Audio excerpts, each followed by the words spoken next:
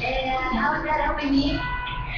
friends, it's Cupii here with a video. I've been on my videos lately, you've noticed, and I'm getting better.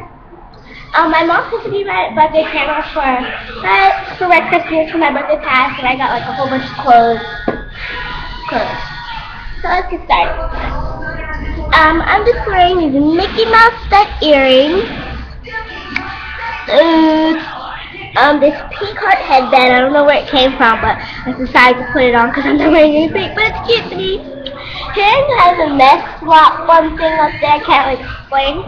This scarf, it's by, it's from Gap. I got it from Christmas last year, and I've been wearing it forever now because it's fall, and I'm so excited for fall, and I love fall. I can't stress that enough. So, and it just goes, it just fits on my neck so beautifully. Really, fire truck and ambulance? Okay, they're about.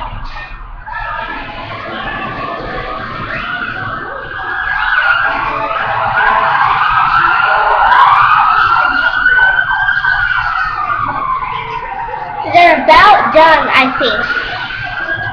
Oh, shut up! I'm trying to film a video! They're so rude to us. They're like messing up our bond. Okay, they're gone. like I said, I've been loving this scarf. I just like the way it like sits on my neck. It just has kind of like dots and hearts and it's so cute on me. I don't know. I'm loving it. I can't stress it enough.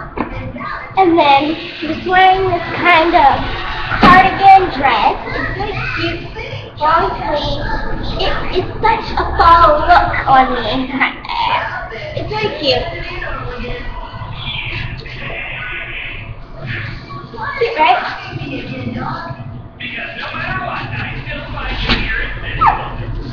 Um, these rusty ivory tights and the leggings.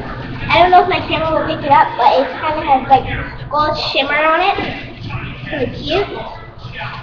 I got both of these from Gap. Are brand new. This is one of my birthday outfits, and I just didn't love it. And I'm just wearing these Ugg boots.